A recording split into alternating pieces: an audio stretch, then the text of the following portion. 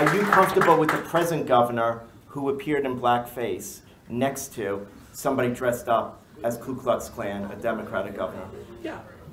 Well, he didn't do Ku Klux Klan in fairness. No, I'm but- saying he's in blackface next to somebody that Yeah. is dressed up. in- But that wasn't him either. It's now come out he wasn't either one of them. But he made a horrible mistake Friday night when he didn't know if he was in it or not and said, well, I How do you not know if it's not you? Uh, we know in Virginia.